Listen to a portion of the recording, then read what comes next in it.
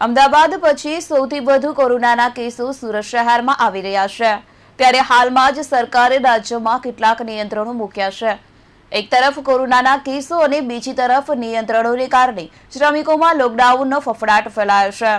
એવામાં સુરતમાં રહેતા પરપ્રાંતીય શ્રમિકો વતનની વાટ પકડી છે. સુરત રેલવે સ્ટેશન પર શ્રમિકો પોતાના વતન પરત ફરવા મોટી સંખ્યામાં ઉમટી રહ્યા છે.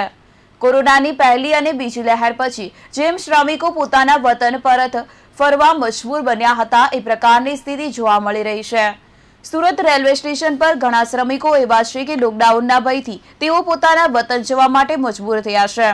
તો કેટલાક શ્રમિકોને મિલ માલિકો પહેલી જાન્યુઆરીથી નોકરીમાંથી કાઢી મૂક્યા હોવાનો પણ શ્રમિકોએ આક્ષેપ કર્યો હતો. કોરોનાના કેસો વધતા શહેરમાં અનેક મિલ માલિકો શ્રમિકોની નોકરી પર આવવાની ના પાડી રહ્યા છે. આ લોકડાઉનના ભયથી શ્રમિકો પલાયન થવા પર મજબૂર થઈ ગયા છે. હાલમાં જ મુંબઈ રેલવે સ્ટેશન પર પલાયન થઈ રહેલા શ્રમિકોને દયની સ્થિતિ જોવા મળી હતી. સતત વધી રહેલા કોરોનાના કેસો અને ત્રીજી લહેરમાં લોકડાઉનને કારણે મુંબઈ બાદ હવે સુરતમાં પણ પલાયન શરૂ થઈ ગયું છે. સુરત રેલવે સ્ટેશન ખાતે ઉત્તર પ્રદેશ અને બિહાર જતી ટ્રેનોમાં ખીચોખર્ચ શ્રમિકો જઈ રહ્યા છે. તો મૂળ ઉત્તર પ્રદેશ અને બિહાર સહિત અન્ય રાજ્યોથી શ્રમિકો રોજગારી માટે સુરત આવે છે.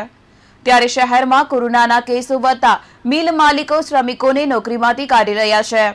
એવામાં શ્રમિકોની સ્થિતિ કફોડી બની છે.